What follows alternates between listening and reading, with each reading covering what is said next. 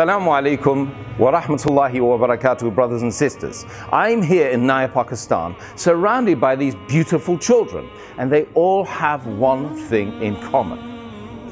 They're orphans. Through your donations, one ummah has been able to provide much needed love, care, and education for these vulnerable children all around me.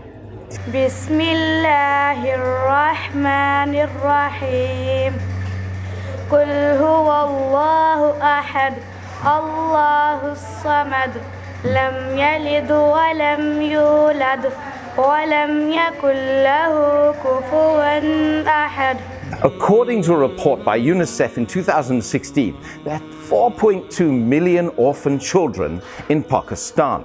Those without support face an uncertain future with child labor and exploitation rampant, along with the threat of trafficking and abuse hanging over their heads.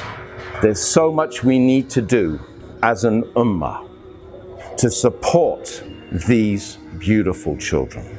The Prophet wasallam said, "The one who cares for an orphan and myself will be like this in paradise." Subhanallah. These are our children.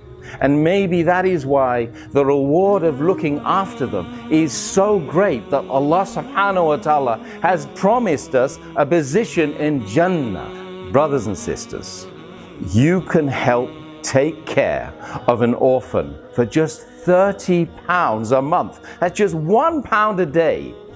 Please donate today and we can look after our precious children and allow them to have at least some future. Subhanallah. Oh, and one last thing. Hit that share button. وجزاكم الله خيرا. السلام عليكم ورحمة الله وبركاته.